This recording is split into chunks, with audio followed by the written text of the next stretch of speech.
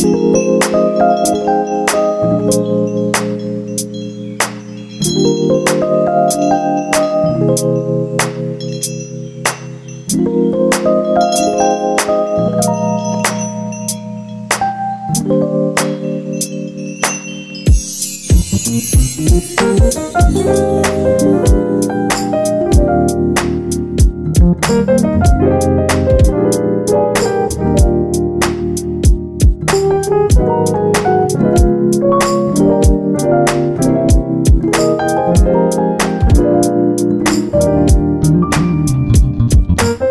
嗯。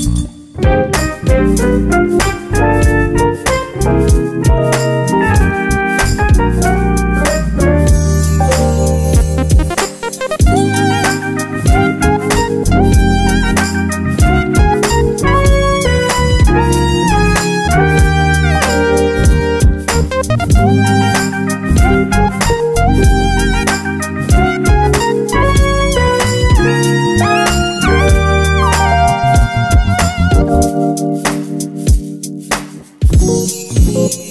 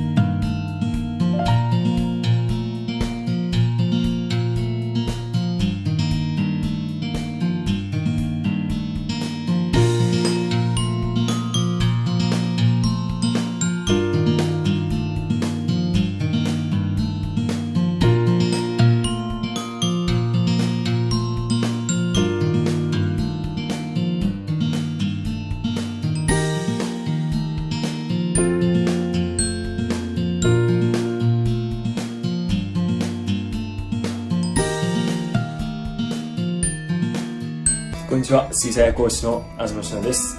今日は水彩が大切な筆画法について勉強したいなと思います。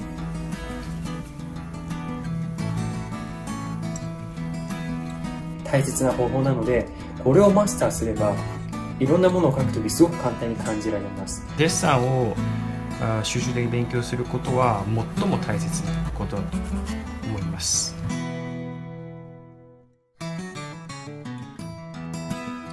最初からうまくいくのは、えー、必ずありませんので徐々に徐々に継続していけば必ず上達できます。いつでも聞いてくださっても大丈夫ですしリモート授業もしているんですが、えー、先生とこういうふうに向かい合って自分の書いてる間違いを発見したり先生が書いてる様子を見ながら同時に勉強するのもすぐ上達できるコツなのかもしれません。